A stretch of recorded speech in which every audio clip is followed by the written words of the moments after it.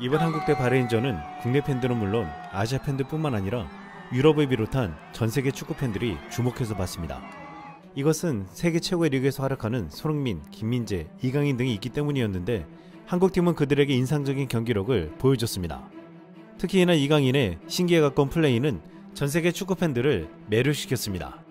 그런데 이는 한국 대표팀의 경기력뿐만 아니라 전 세계 축구 팬들이 놀라면서 지켜본 아주 중요한 것이 있습니다. 바로 관중석을 가득 메운 한국의 젊은 여성 팬들이었습니다. 보수적인 이슬람 국가에서는 경기장의 특수 카메라로 노출이 심한 여성을 단속할 정도인데 이날 카메라는 과감한 의상을 입은 한국 여성들을 집중해서 보여줬습니다. 이 경기를 중계하는 카타르의 중계 카메라는 계속 한국 관중들을 잡아줬는데 카메라맨이 잡은 여성의 숫자가 무려 70여 명이 넘고 5분 이상 방송되었다고 했습니다. 이것은 축구 중계에서 거의 유례없는 수준이라고 했는데 그만큼 이날 관중석에서 한국 여성 관객들의 존재감은 엄청났습니다. 해외 팬들은 한국에는 왜 이렇게 미녀들이 많냐고 놀랐는데 해외 팬들은 한국 젊은 여성 관중들을 보고 이런 반응을 보였습니다. 카메라맨이 한국 여성을 매력적으로 생각하는 것 같아요. 매분마다 찍습니다. 한국은 일반적으로 다른 어떤 나라보다 여성 출석률이 더 높나요? 아시안컵을 처음 봤는데 그런 것 같아요. 한국 축구팬의 대다수가 여성이라는 연구 결과를 봤습니다. 60% 정도였는데 이는 대부분의 다른 나라에 비해 매우 높은 수치였습니다. 군중도 이를 반영하는 것 같아요. 손흥민, 이강인, 조기성, 서령우 이 선수들이 잘생기고 인기 많아서 여자들이 좋아하거든요. 해외 축구 팬들의 경우에는 더 그럴 것이라고 생각합니다. 나는 한국 선수들의 소셜 미디어 계정을 가지고 있는 브라질 여성들을 많이 보았습니다. 해외 팬들은 화면에 자주 등장하는 한국의 젊은 여성 팬들을 주목했는데 특히 손흥민이 뛰는 프리미어 리그를 봐왔던 영국 축구 팬들이 가장 놀랐습니다. 한 영국 팬은 영국에서는 남자 직장인들이 축구를 보는 반면 한국에서는 예쁜 젊은 여성들이 축구를 본다 라고 말했고 또 다른 팬은 모든 국제 토너먼트에서 그들은 항상 군중에서 멋진 사람을 찾습니다. 잉글랜드에서는 경기가 시작될 때까지 그들이 할 수 있는 한 가장 거칠게 생긴 사람들을 골라낸다고 맹세합니다. 카메라가 영국 군중을 향해 패닝할 때마다 맥주를 꺼낸 50대 중년 남자나 이빨이 없는 60세 여성이기 때문입니다. 라고 말하며 그들은 영국과 전혀 다른 한국 축구 팬들의 분위기에 놀랐습니다. 카메라에 등장한 여성 팬들의 분위기를 가장 잘 전달한 것은 한국 여성들 사이에 앉아서 경기를 관람한 해인기 축구 유튜버 토그든이었습니다. 주변에서는 한국 여성 팬들의 깨악깨악 하는 비명소리가 들리고 중국 심판의 어이없는 판정이 나올 때는 일어나서 열렬히 항의하는 모습까지 보였습니다. 이를 보고 토그든은 놀라워할 정도였는데 심지어 중국 심판 마닝이 여성 관중들의 반응을 보고 휘소를 부는 것 같은 장면도 나왔습니다. 해외 축구 팬들은 토그든 영상을 보고 축구장에 젊은 여성들이 많다는 게 흥미롭네요. 당신은 경기장에서 가장 좋은 자리를 차지했습니다. 완벽한 전망과 아름다움으로 완전히 둘러싸여 있습니다.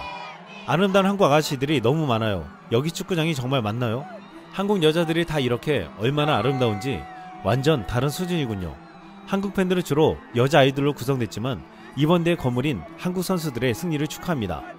한국 여성 팬층의 시끄러운 함성 때문에 마지막에 아우트로를 하기 위해 자리를 옮겨야 했던 게 웃기네요. 귀여운 한국 소녀들, 아름다운 한국이라고 했습니다. 이 영상 유튜브에 업로드되자 많은 한국 팬들이 느닷없이 알고리즘에 이 영상이 추천됐다고 무슨 영상인지 궁금해했습니다. 영상 안에서 바레인전 한국 관중석의 분위기가 여실하게 드러나자 한국 팬들은 이런 반응을 나타냈습니다. 이번 영상 보니까 실감나네. 진짜 한국 여성 팬들 현장이 어마어마했구나. 카메라맨이 여자만 좋아해서 찍은 게 아니라 여성 관중 받치니까 화면만 잡으면 거의 여자만 나온 거네. 여자들 개웃기네.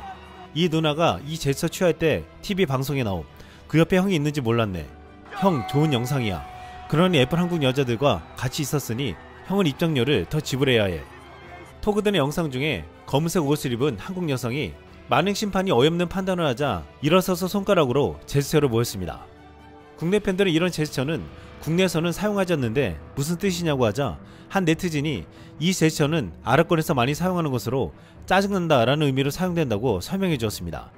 그는 아마도 카타르 현지 교민인 듯한데 카타르 항공에 많은 한국인 스튜어디스가 근무한다고 했습니다. 이번 영상을 보고서 이 많은 한국 여성 팬들 가운데 상당수가 카타르, 바레인, UAE에서 근무하는 한국 승무원들이라고 추측하기도 했습니다. 하지만 이번에 카메라에 잡힌 일부가 승무원일 수 있지만 대부분은 한국팀을 응원하러 간 한국의 젊은 여성 팬들이라고 했습니다. 놀랍게도 최근 한국에서는 전 세계 축구계의 흐름과 달리 젊은 여성 팬들이 급속도로 늘고 있는 상황입니다. K리그가 지난해 처음으로 총 관중수 300만 명을 돌파했는데 이렇게 관중이 늘어난 가장 큰 이유는 여성 관객들이었습니다. 지난 시즌 전체 관중의 47%가 여성 관객인데 2019년과 비교하면 무려 15%가 늘어났다고 했습니다. 더욱 놀라운 것은 이런 현상은 국가대표 A매치에서 더욱 두드러지는데 지난해 A매치 평가전 튀니지전에서 여성 관중 비율이 59%, 싱가포르전에서는 65%로 집계되었습니다. 남성보다 여성이 더 많이 A매치 축구 경기장을 찾은 것인데 전 세계 어디에서도 볼 수 없는 신기한 현상입니다. 유럽에서는 중년의 아저씨들과 할아버지들이 검은색 점퍼를 입고 경기장에서 열렬히 응원하는데 한국에서는 20대 여성들이 배꼽 뒤에 핫팬츠를 입고서 경기장을 채운다는 것이 너무나도 신기하고 대비된다고 했습니다. 한국에서 젊은 여성 축구 팬들이 늘어난 건 손흥민, 이강인, 황희찬 등 축구 스타들이 마치 아이돌처럼 큰 인기를 끌고 있는 것이 가장 크다고 보고 있습니다. 이번에 바레인전은 중국에서도 한국 팀에 대한 큰 관심 때문에 주목해서 보았는데 또한 중국 내에서도 악명 높은 만행 심판을 보느라 굉장히 많이 시청했습니다. 중국인들도 한국의 젊은 여성들이 카메라에 계속 나오자 놀라운 눈빛으로 보았는데 만행 심판에게 한국 여성들이 크게 항의하자 이 또한 무척이나 신기했습니다. 한국 여성들이 찍힌 장면을 한 중국 언론이 편집해 올리자 한 중국인이 이 영상은 마치 전 세계 신도들이 모여 성대한 행사에 참여하는 불교의 거대한 행사와 같습니다. 훌륭해요. 정말 훌륭해요. 라고 반응했습니다. 지난 2019년 아시안컵에서 중국이 이례적으로 8강에 올라가면서 최고의 성과를 기록했는데 8강전에서 중국은 한국에게 졌지만 경기장에서 주목되는 장면이 있다고 했습니다. 당시 중국 바이도에서 관중석에서 응원하는 한국 팬들이 있었는데 한 한국 여성이 국기를 치마로 활용했는데 이 여성은 키가 크고 피부가 하얗고 아름다운 모습을 보여주었다고 했습니다. 얼굴에 국기를 새긴 한국 미인도 있었는데 카메라가 다가오자 입이 삐축 튀어나왔다고 했습니다. 중요한 것은 이 한국 여성들이 너무나도 열정적으로 응원했다는 것입니다. 하지만 한국 여성 팬들의 광적인 분위기에 비해 중국 여성 팬들은 훨씬 조용했다고 했습니다. 현장에서 여성 팬들의 응원이 분위기를 바꿀 수 있는데 한국에 비해 중국은 너무나도 아쉽다고 했습니다. 그런데 이런 한국 여성 관객들의 파워가 토너먼트에서 큰 힘이 될 것이라는 말이 나오고 있습니다. 이번 아시안컵이 중동에서 열리면서 한국이 우승컵을 들려면 일본 말고도 중동 전통의 강호 이란을 이겨야 한다고 했습니다. 그런데 지금 한국이 조 1위가 될 것으로 예상되면서 그렇게 되면 8강에서 붙을 가능성이 높은 이란이 지금 초긴장을 하고 있습니다. 한국은 여성 관객이 주를 이루는 반면 이란은 아예 여성 관객들의 축구 관람이 불가능했던 나라였습니다. 이란은 지난 2019년 무려 38년 만에 축구장에 여성 관객을 허용했지만 지금도 이란 내에서는 여자는 축구장에 들어가게 해서는 안 된다는 말이 커지고 있습니다. 그런데 지금 한국전에서 이란 선수들은 처음 경험하는 여성 관객들의 비명과 함성을 들어야 한다는 것입니다. 이번 바레인전 관중석에 모인 한국 여성들의 집단적인 항의 장면을 보고서 한 해의 네티즌은 경기 내내 한국 소녀들의 괴상하고 시끄러운 비명은 멈추지 않았다. 축구장에서는 잘 안 보이네요. 듣고 있으면 미칠 것 같아 라고 반응했습니다. 재밌는 것은 지금 한국의 젊은 여성 팬들의 축구 사랑은 유럽 축구 팬들에게도 큰 놀라움을 주고 있지만 여성을 차별하며 축장에 못 들어오게 하는 이슬람 국가들에게도 엄청난 충격을 주고 있다는 것입니다.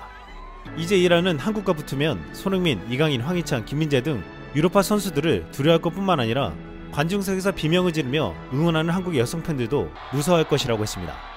지난 2011년 한국 여성 축구 팬이 어떤 사람들인지 단적으로 보여주는 한 장의 사진이 화제가 되었습니다. 카메라에 찍힌 한 한국 여성은 축구장에서 링거를 맞으면서 경기를 관람하고 있었습니다. 이 여성의 모습을 포착한 언론은 이렇게 말했습니다. 이게 축구고 낭만이다. 쟤는 4만 명, 5만 명 오라고 해. 우리가 유일하게 보여줄 수, 보여줄 수 있는 건 운동장 아니니까 들어가서 그냥 부시자고, 오케이? 예. 가자, 가자, 가자! 사우디 팬들을 조용하게 만들어서 좋았다. 한국이 사우디와의 16강전에서 끝까지 포기하지 않는 집념으로 거둔 승리에 찬사가 쏟아지고 있습니다. 손흥민을 중심으로 똘똘 뭉친 한국 대표팀은 연장전까지 가서도 지치지 않고 공격했고 승부차기에서는 멋지게 상대를 압도하며 기어코 승리를 따냈습니다. 전스키 팬들은 이번 경기는 이번 아시안컵 최고의 경기였다며 강렬한 인상을 받았다고 했습니다. 그런데 이날 태극 전사들의 극적인 승리 못지않게 주목받은 것이 불과 20명이 불과한 한국의 붉은 악마 응원단이었습니다. 카타르의 적경국인 사우디는 이번 대회 최대 규모의 응원단을 가진 팀으로 이날 사우디 응원단이 4만 4천여 관중석에 4만석 이상을 채웠습니다. 이들은 엄청난 숫자로 한국 응원단을 위협했습니다. 킥오프 3시간 전부터 유니폼과 머플러를 두른 사우디 팬은 기세 등등한 표정과 제스처로 한국을 향한 도발을 멈추지 않았습니다. 한국 팬을 향해 조롱하는 듯한 언행을 노골적으로 보이기도 했습니다. 태극 전사들은 이번 대회에서 조별리그 3경기 응원전에서 상대팀에게 밀렸습니다. 중동팀인 바레인, 요르단 경기에서 자국 팬들이 몰려들었고 말레이시아 경기마저도 상대 관중들의 응원에 클린스만호는 쉽지 않은 분위기에서 경기를 치렀습니다. 한국 교민들과 팬들은 물론 타국의 팬들도 한국 경기장을 찾아와 응원을 보냈지만 응집력이 떨어졌습니다. 이런 가운데 이번 16강전에서 공식 서포터즈인 붉은 악마가 드디어 경기장을 찾았습니다. 하지만 숫자가 20명밖에 되지 않았습니다. 비록 숫자는 적지만 한국의 승리를 향한 붉은 악마 서포터즈의 염원은 간절했습니다. 태극전사들은 소수정의 팬들의 열띤 응원을 승리로 보답했습니다. 붉은 악마 응원단이 불과 20명밖에 가지 못한 이유는 조 1위를 예상하고 16강 표를 예매했기 때문이었습니다. 붉은 악마 의장 이중근 씨는 조별리그 1위로 토너먼트에 올라갈 줄 알고 그에 맞춰 비행, 숙박을 다 예약했다. 경기장 티켓도 마찬가지다. 바꾸는데 어려움이 있었다면서도 소수이지만 함께 모여 응원하기 위해 붉은 악마를 모았다. 20명 정도다. 라고 말했습니다. 또한 한국을 응원하기 위해 경기장을 찾은 강도인 씨는 사우디 팬들이 한꺼번에 티켓을 구매해버리는 바람에 자리가 얼마 남지 않았다며 안표를 구매해서 오시는 분들도 계셨는데 하나로 만원 정도의 티켓을 최대 800달러, 약 100만원에 팔기도 했다고 말했습니다. 결국 이런 이유로 한국 대표팀을 본격적으로 응원하기 위해 16강전에 모인 악마는 20명에 불과했는데 뿔뿔이 앉아서 한국팀을 응원하는 현지 교민과 팬들 합치면 300명 가량이 되었습니다. 킥오프 전 경기장으로 가는 길목 곳곳에 사우디 팬들이 즐비했고 초록색 유니폼과 머플러를 들고 길거리를 점령했습니다. 경기장으로 들어서자 거대한 인원은 위압감을 느낄 정도였습니다. 킥오프 2시간 30분 전 하나둘 자리로 모인 20명 남짓한 붉은 악마는 오 필승 코리아와 대한민국 구호를 외치면서 분위기를 끌어올렸습니다. 붉은 악마를 둘러싼 사우디 팬들에 비하면 마치 작은 성가도 같았지만 응원은 기세다를 외치면서 결코 기세에서 죽지 않았습니다.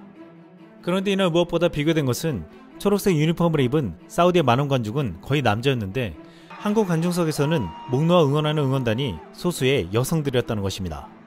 사우디 관중석에서는 여성 관객은 찾아보기 힘들었습니다.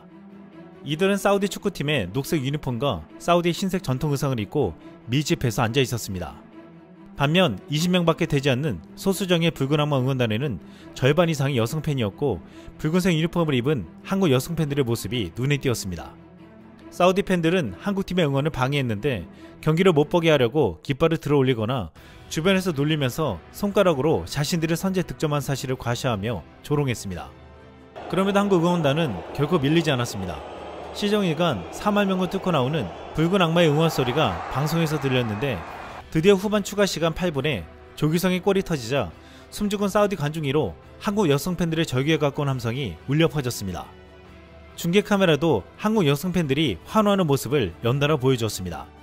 이 장면은 골이 먹히자마자 머리를 보여잡는 사우디 남성 팬들과 극단적으로 대비되었습니다.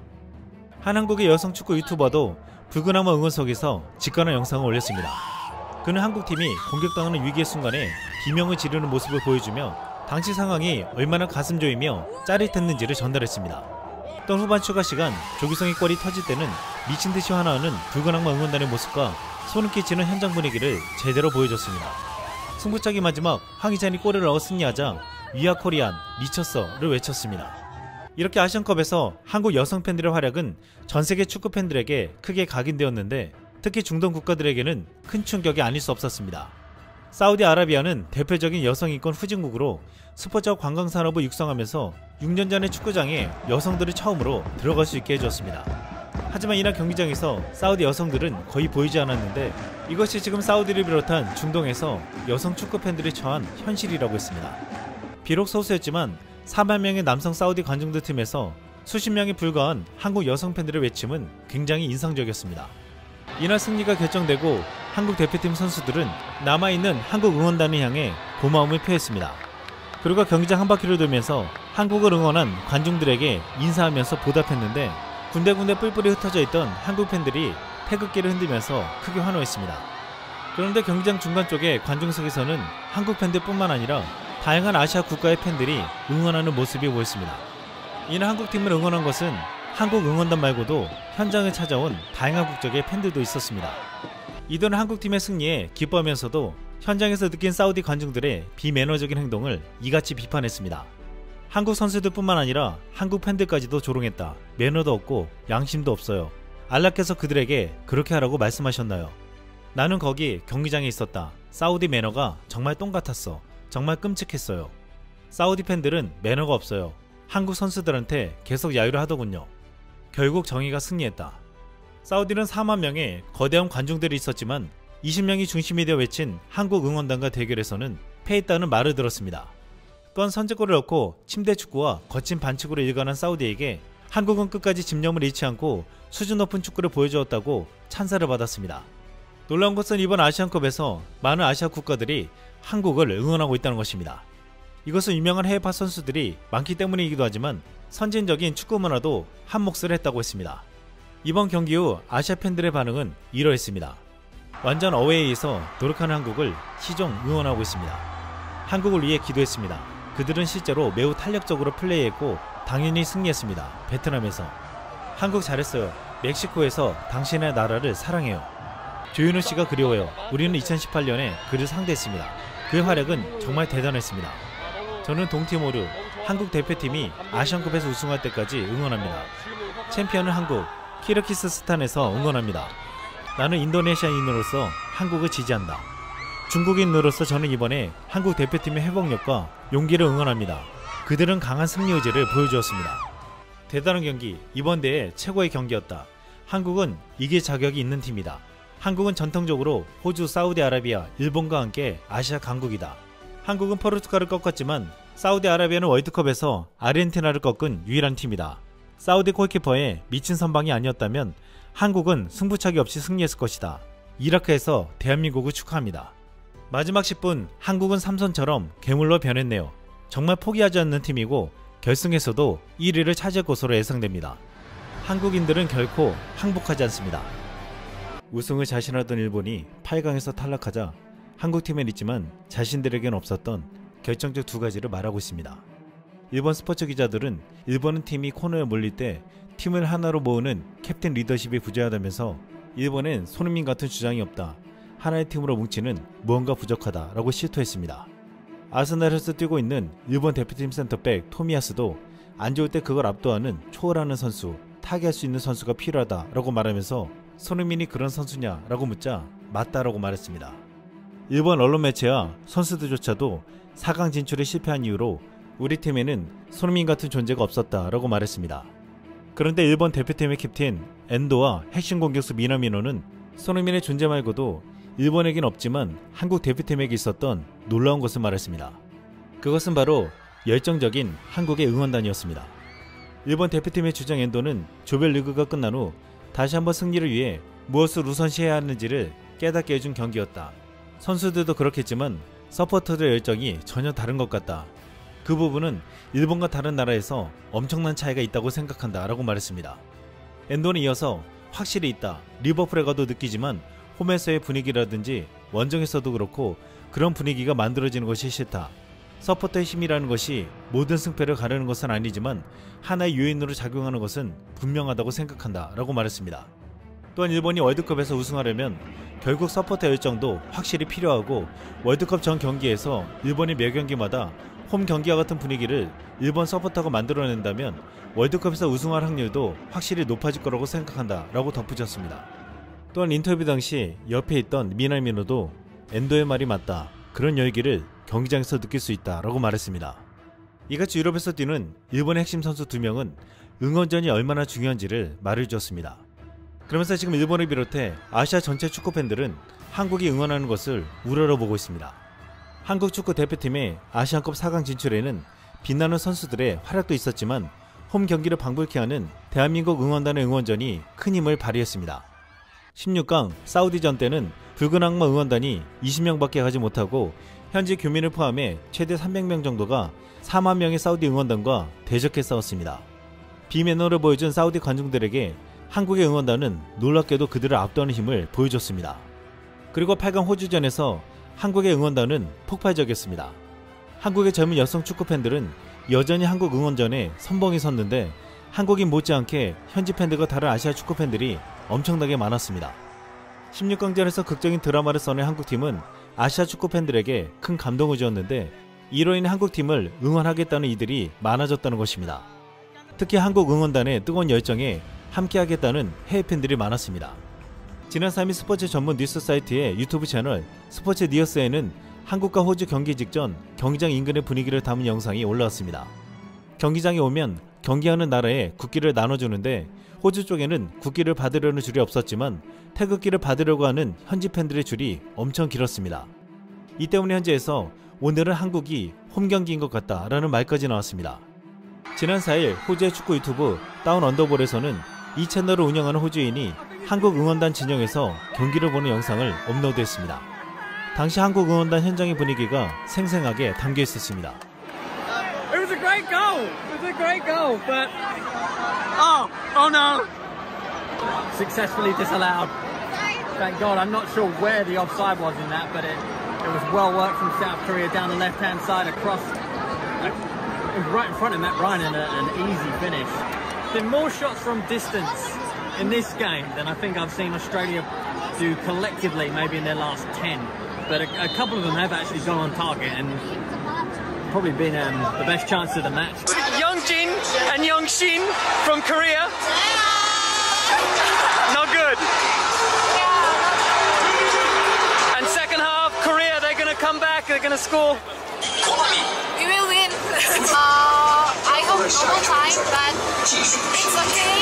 in penalty. You take either way, yeah, yeah. And Young Shin, Yes, I have no idea. You have no idea? Wow. you're a Man United fan, really, so. Yeah. Yeah. but I'm not. Actually, I'm not a fan of my boyfriend. Penalty! He's giving a pen it looked like a pen. Kim Min Sung brought down in the area. And we must be literally two minutes away from the final whistle.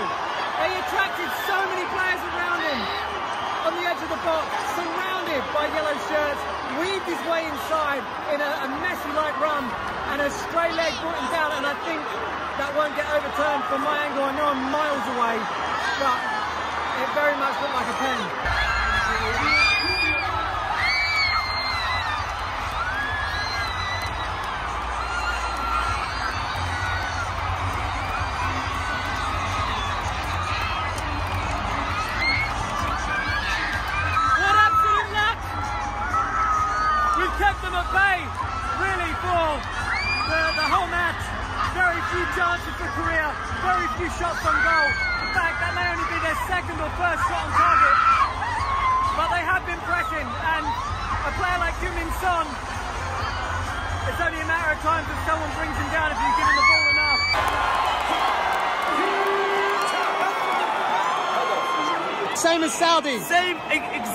Exactly. The same. Last minute, they did this, man. The, impressive goal. They were. I cannot talk. Happy? What's that?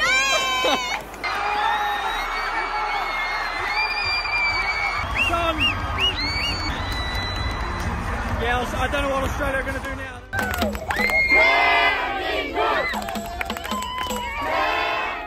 카타르 현지에서는 지금 한국 축구를 응원하는 열풍이 불고 있는데 한 현지 남성 팬이 호주전에서 손흥민이 프리킥을 성공시키자 환호하는 모습이 보였습니다.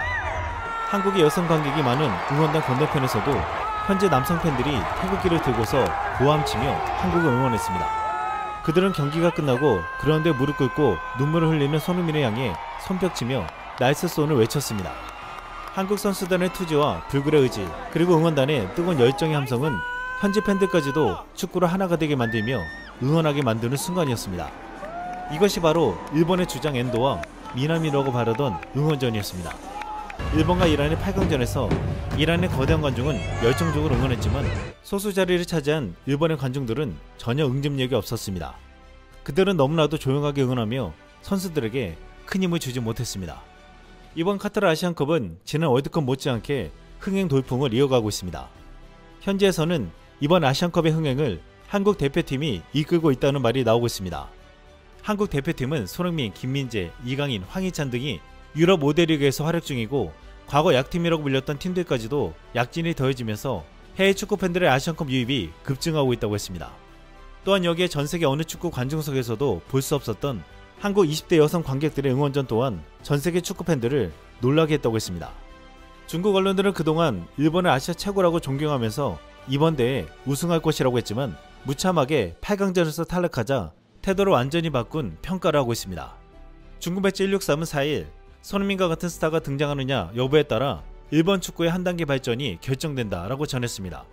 또한 중국의 스포츠 포털 신화체육은 일본의 나태한 플레이가 눈에 띄었다며 지는 게 당연했다라고 논평했습니다. 이 현재 일본에는 신뢰할 만한 에이스가 부족하다. 이는 큰 문제이며 한국과 비교하면 차이는 분명하다라고 지적했습니다. 이런 건데 중국은 3일 한국 대표팀의 훈련 장면을 보고 놀라운 점을 보도했습니다. 120분 두 경기 연속 접전 끝에 한국 선수들이 주도적으로 훈련 요청이라는 제목의 기사였습니다. 경기가 끝난 다음날 강도 높은 일정으로 훈련이 불가능했으나 선수들이 자발적으로 훈련을 하자고 해서 손흥민, 김민재, 이강인 등의 선수들이 훈련을 했다는 것입니다. 이에 중국 축구 팬들은 이런 반응을 보였습니다. 양코비치가 축구 대표팀에 오전 6시 30분에 오전 훈련을 하라고 요구해 축구 대표팀의 불만을 샀던 기억이 난다. 그들의 전문성을 보세요. 다음날 축구협회는 지친 기색이 없는 화기애애한 대표팀 선수들의 훈련 장면을 찍어 올리면서 이런 제목을 달았습니다. 회복 훈련 이거에 재밌지? 이상 쓸멍이었습니다.